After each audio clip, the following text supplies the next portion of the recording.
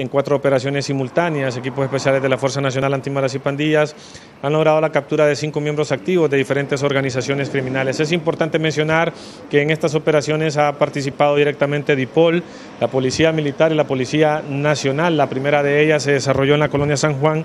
de Teucigalpa, donde se logró la captura de Carlos Alberto Uclet Roque, de, 30, de 27 años de edad, conocido en el mundo criminal con el alias de Combar. A él las investigaciones lo vinculan de ser miembro activo de la organización criminal Pandilla 18, encargado de, eh, de la coordinación criminal de esta organización en diferentes puntos de la capital. A él se le responsabiliza de haber participado directamente en varios atentados en contra de operarios del sector transporte de diferentes rutas eh, de la ciudad, eh, hechos criminales ligados al tema eh, de cobro y recolección de extorsión. Además, se le han aperturado nuevas líneas de investigación para verificar si él ha tenido participación directa en algunos homicidios que se han perpetrado tanto en la colonia Ato en Medio, Villanueva y sectores aledaños. Al momento de su captura, a él se le ha decomisado una escopeta calibre 12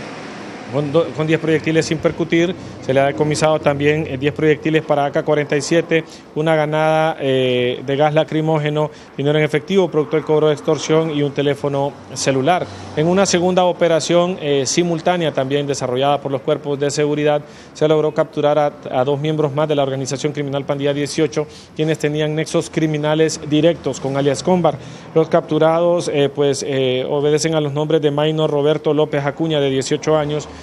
conocido criminalmente con el alias de Bruchi, Melvin David Valladares Hernández, de 48 años, conocido criminalmente con el alias de Phillips. A ellos también se les ha decomisado una escopeta calibre 12 con 10 proyectiles sin percutir, dos eh, chalecos eh, tácticos antibalas con leyendas falsas de los cuerpos de seguridad, dinero en efectivo, producto del cobro de extorsión, dos teléfonos celulares y un vehículo turismo tipo taxi con registro 2550. Según lo dado a conocer por los agentes que participaron en la operación, el historial criminal de alias Bruchi detalla que él en el año 2018 había sido capturado por la Policía Militar del Orden Público por los delitos de portación ilegal de armas, robo agravado y privación injusta de libertad. Sin embargo, él al salir de un centro penitenciario se reintegró nuevamente a las actividades criminales de la pandilla 18. Actualmente él era el encargado de recolectar fuertes sumas de dinero por concepto de extorsión, las cuales eran exigidas mediante amenazas a muerte a operarios del sector transporte y también eh, propietarios de pequeños negocios en la colonia Pedregal y sectores aledaños, mientras que a Alia Phillips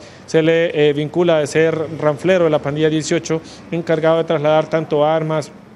como eh, algunos miembros de la organización Pandilla 18 para cometer algunos ilícitos en diferentes puntos de la capital. La tercera operación se desarrolló en la colonia Río Abajo de Comayagüela, donde se capturó a Moisés David Romero, de 30 años, conocido en el mundo criminal con el alias de Colocho, a quien se le venía siguiendo la pista desde hace varios días por eh, suponerlo responsable del delito de estafa continuada en perjuicio de varias víctimas mediante la modalidad de empresa fantasma. Él había estado recluido cuatro años en el centro penitenciario de San Pedro Sula, sin embargo, al recobrar su libertad, pues nuevamente entró al mundo criminal. Finalmente, en una operación desarrollada en la colonia Francisco Morazán de Comayagüela, se logró la captura de Armando Josué Mairén Andino, de 29 años, conocido en el mundo criminal con el alias de Tunco, quien según las investigaciones es miembro activo de la organización criminal Mara Salvatrucha, encargado de recolectar fuertes sumas de dinero por concepto de extorsión eh, en diferentes puntos de la colonia Francisco Morazán y sectores aledaños. El historial criminal de alias Tunco detalla que él en el año 2005 había sido capturado por los delitos